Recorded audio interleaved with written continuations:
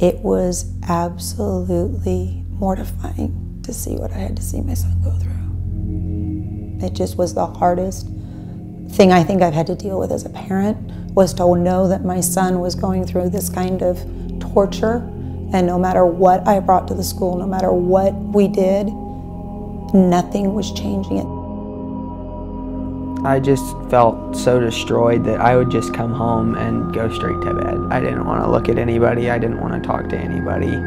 Um, even my mom and my grandparents and my dad, my brother, you know, they would try and talk to me, even if it was just about dinner or whatever, and I would just snap at them because I was just so destroyed and everybody at school was against me, so I was always on the defensive, even when I got home and I knew I was safe. As a mother, I felt I went from some beginning I felt like maybe it wasn't as bad as he was making it. You know, you try to tell your child that, you know, things you can get through this and you have to be strong.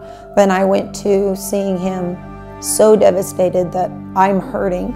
You just feel like you can't protect your own child, and that is the hardest feeling in the world. You bring this person into the world and you swear that you'll protect them with all you've got. And I couldn't protect my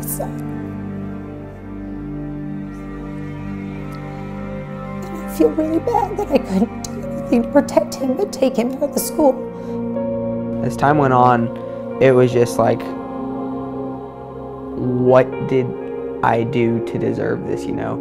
Is it, did I say something wrong? Did I do something wrong at school? Did I, it was just trying to find the cause of the problem.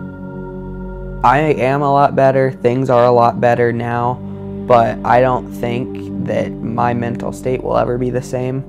I think I'm always going to be looking out, uh, even since then, I should say. I've always been looking out for people who have just been, you know, trying to hurt me, trying to get to me. I'm always still on the defensive. I don't fight with my parents and I don't bite at them as much anymore, but I'm still always, you know, looking behind my back, seeing, you know, who's out to get me. I'm that's part of my stress too. I'm always stressed out, you know. I always look at the bad still. I don't look for the good in things as much. It's getting better, but it's going to take time.